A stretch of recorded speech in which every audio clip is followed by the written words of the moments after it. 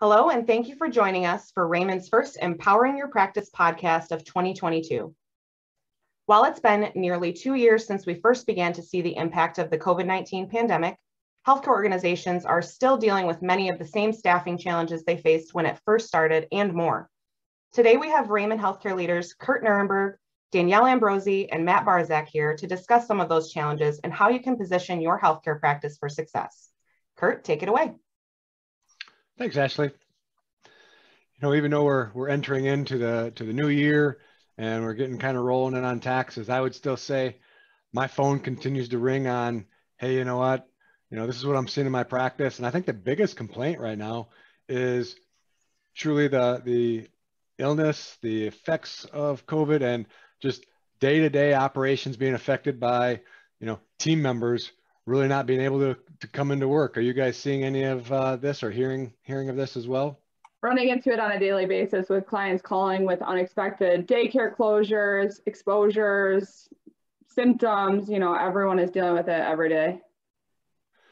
You know, in an industry that is usually such a fixed schedule, and you kind of, you know, practitioners would leave their office the night before have a pretty good idea of what's going to go on the next day. There's so many surprises now. They wake they wake up, they go to the office, and now we're managing where they don't even know if they have a team in place to uh, manage that uh, patient flow for the day. I think the biggest thing is is as we go to go through this, you know, it is so tough running the business. But I continue to tell my docs one thing you have to continue to do is be empathetic towards what your what your team members are are managing um, just dealing with this in their own lives as well. Yeah especially when you got kids at home you know trying to do school and, and everything else at home and not knowing if if they're going to have school on any given day if they have to be quarantined. Um, one thing i've seen several practices do is start to roll out some type of employee assistance or work life referral program um, where you might even drop a couple grand in a fund and say, hey, there's this opportunity where any of you can reach out and get counseling on the practice. You have to communicate, you know, what that amount is for the year, and hey, it might be replenished once a year, and when it's gone, it's gone. But that uh, goes a long, long way as far as providing some goodwill for your employees. So I've had heard some success stories from that perspective. Yeah, I would think, you know, I, the other calls that I get to are realistically, you know, practitioners saying, hey, you know, any other programs out there? I think everybody wants to be able to compensate their team uh, for the time off because the financial burden at home too, but those programs are are gone, you know, and um, you know, so some of them you know, I'll get questions on, hey, if I want to pay this person and not this, you know, I, I tell people adopt a policy and and live with that consistency. Are you are you getting some of those inquiries as well? I've been seeing a lot of um, clients offering like a stipend for a day. If they're out with COVID, they'll get a certain stipend per day, or allowing people to use their PTO and maybe go negative and if they were to leave then they would repay that at that time. But just finding creative ways to make the financial impact not as hard on employees now like you mentioned that the irs funding is gone. Yeah. and staying ahead of changes too you know especially at the end of third quarter i believe it was the irs removed that benefit of paying the employer when an employee was out sick.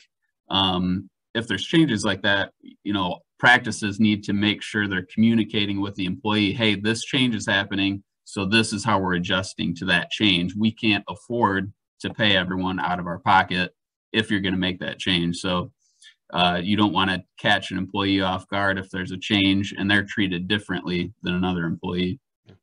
I have had practices that have allowed their team members to maybe go negative in their pto and stuff like that to be able to do that.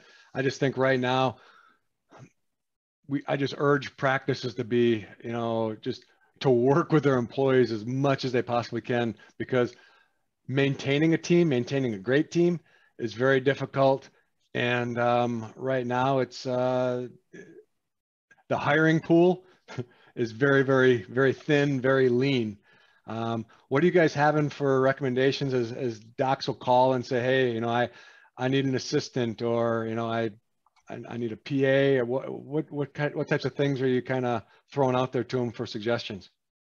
I would say from a referral program perspective, that's something we're seeing a lot. I mean, all the employees have, well, not all of them, but a significant number of employees have a wide network, right? And social media and everything else. Um, you know, if, if they do some advertising for you and provide those connections, there's a, a good opportunity for you to also reward them for that and provide an incentive if uh, if you hire someone.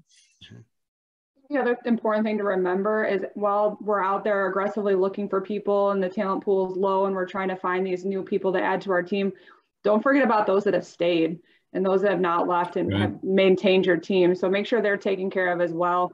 It's hard when you're trying to find someone in this tough market and you're offering them higher compensation than maybe you would have in the past, but also make sure to keep keep the people that have stayed in mind and look at their compensation and make sure it's fair and maybe look at increases for them as well.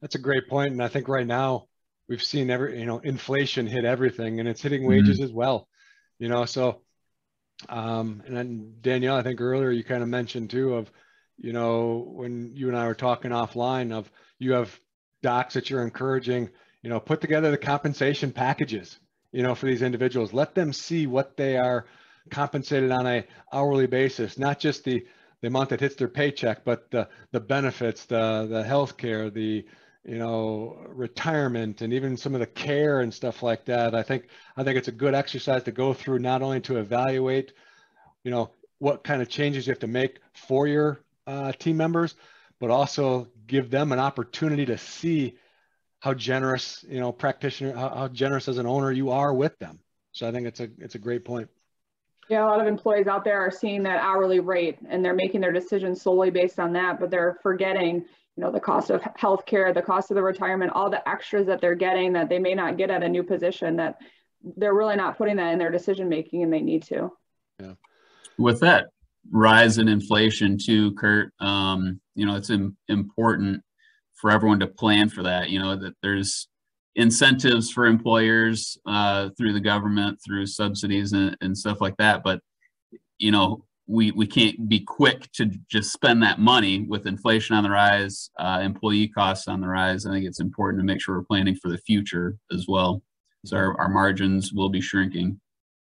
Yeah, and just to close the gap on one thought that just came to mind on some of the incentives, I've actually had it to where, you know, if uh, if you hire, if an employee, current employee brings somebody to you, you hire them, you like them and I usually get I've had it to where I've, the doc has paid that employee, you know, even up to a thousand dollars when they hire them, and then realistically, if that employee sticks around, you know, for another for 12 months, then I have them pay another, uh, incentive uh, at that point in time, just to kind of get get the networks going, allow, allow people to help uh, help with this cause.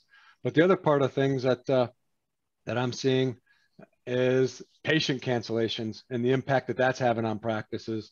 Uh, Matt's, Matt, what's your thoughts on some of those things?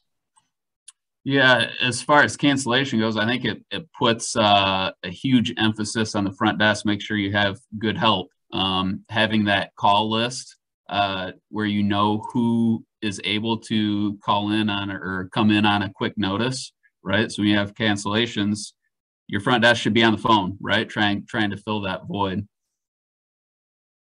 Just like the staffing shortages and you know exposures and last minute cancellations at work, you're going to see the same thing with your patients. So making you stay on, making sure you stay on top of that to to know if you have a patient call in last minute, hey, I've been exposed, I can't come in. You have that backup list to call and say, okay, let's get someone else in so we fill that spot and we're not losing that revenue. Yeah, yeah great point. I I looked at actually right now trying to switch primary care providers. And I was told it's like, I can get you in in May, you know? So I said, Hey, you know, just put me on a quick call list. And they're like, we don't have one. And I'm like, from that perspective, I said, I go, you should get one, you know? So, uh, so 100%.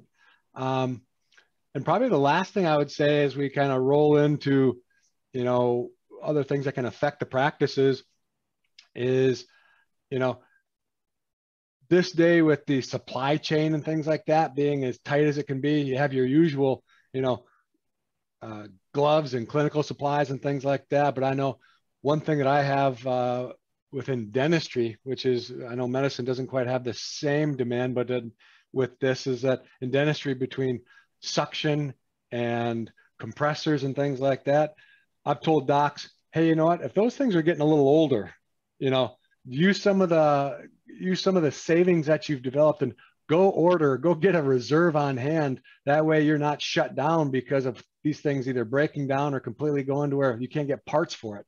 Because um, and you know, some docs have been like, hey, you know, I don't what do I want another compressor on hand for? And it's like it's like an insurance policy. You're going to need it. You're just upping the time of purchase. You know, so that that's been something I've kind of recommended to some some docs as well. And I think one doc did uh, reap the benefit of that. Um, it's, it's it's one of a lot, but it's like at least it was one. It'll pay for itself real quick, won't it? Yeah. You didn't offer to uh, be the maintenance man, Curt. They don't want. I would end up taking their office down completely with something else. I would screw up at that point in time. And just the importance of planning ahead. So if you know you have a piece of equipment or something that's going out, look and look at how long it's going to take you to get that. So you might not be able to just order and get it in a couple weeks. It might take months now. So looking ahead and saying, okay, I know I'm going to need this soon. So go ahead and get that ordered now so that you have it when it when you need it. Yeah.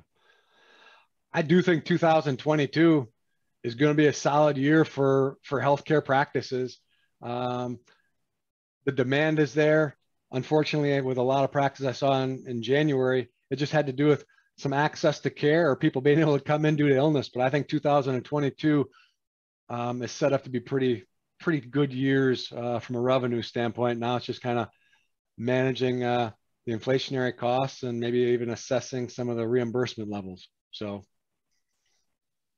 but I think uh, I think we've covered some things there, and you know I, I appreciate you guys' uh, guidance. Always love chatting with you and and brainstorming, and uh, look forward to doing these uh, on a regular basis going forward. Uh, you too, Curt. Thank you, Curt, Matt, and Danielle. And thank you all for joining us today. The Rehmann team is dedicated to keeping you updated on important information for your healthcare practice. If you have any questions, please don't hesitate to reach out to your advisor or contact us at info at rehmann.com for more information. Thanks again and have a wonderful day.